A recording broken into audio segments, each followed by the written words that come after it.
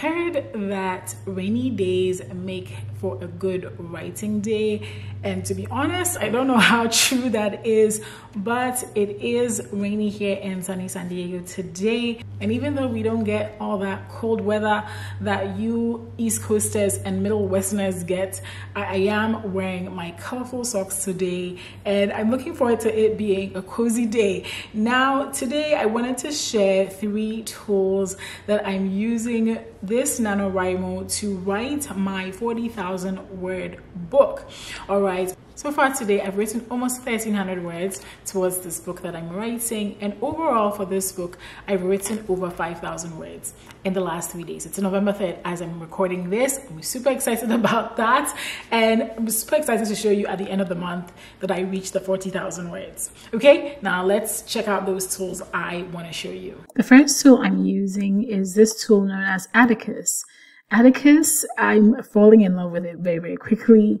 It is a writing tool. It is a formatting tool. So when I talk about formatting, that means you can go to here where it says formatting and it can put it in a book format for you. So like as I'm writing, it's already formatting. How amazing is this? And then of course you can also write. One of the things I love about Atticus is that you can set a timer for how many words you like, how many, how much time you want to write. Okay. So you can just click on that. You set a timer and then you write. There are more tools over here. Um, I have a book goal for this for about 40,000 words. Today, I wrote um, almost 1,300 words. I'm really, really excited about that. And so, you know, I highly recommend it. It's a paid tool. I think they have a free trial, but, um, you know, because, you know, I'm really getting serious with my writing career, um, I bought this and I'm really, really glad that I invested in it. The second tool I'm really excited about is Pro Writing Aid. Now, there is Grammarly, there are other tools out there that you can use to check your grammar, but I'm loving Pro Writing Aid because it has this writing coach feature. So like, first of all, I can tell you things like length of sentences, transitions, um, if it's readable, you know, if you're using too many cliches, it can help you with alliteration. Um, it can, it just, it's just so helpful. And then when you click on things like when it highlights things, so you can click on that and it will tell you, you know, of course, the grammar rule. But then there's some of these that you can click on and it will tell you passive verbs make your writing less direct. Try an active verb instead. So they don't just give you a correction for some of these things. They actually give you the reason why they're providing that correction. I think that's incredible. The third tool I'm using is Publisher Rockets. Publisher Rockets really is helpful for researching categories on Amazon. Okay, so we can go right here where it says category search.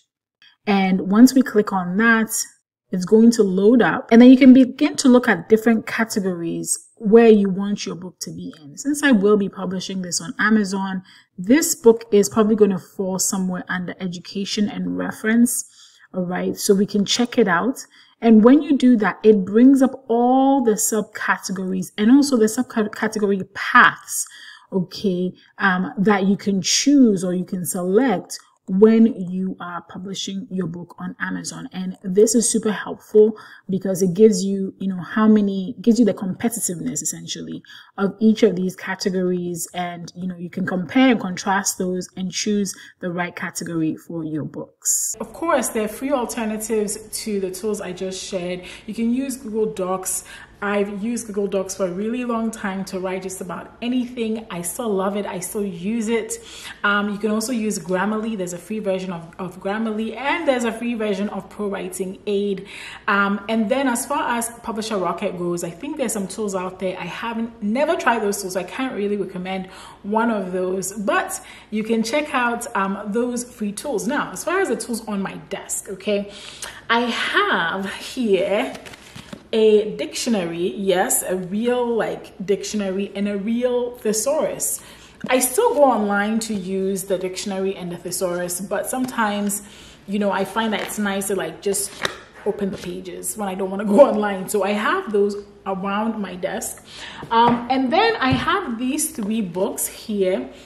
They're by an author called Valerie Howard, and she has written 1,000 helpful adjectives, 1,000 character reactions, and 1,000 strong verbs that you can use in your books. Because one of the things I found is when you're writing, it's easy to kind of be like, man, I've used that word 100 times. Like, how, what other word could I use, right? Like, oh, she sighed, or he shrugged, or he shook his head. Like, what else can I say, right, to depict that or to show that? In writing, there's something called, you know, showing and not necessarily telling. How can I show and not tell? And so these three books gonna highly recommend them. They've been so helpful for me. There are other books like this um, on Amazon that you could check out, but these are the ones that I have. I found some really good alternative words to use as I'm writing, and I highly recommend them.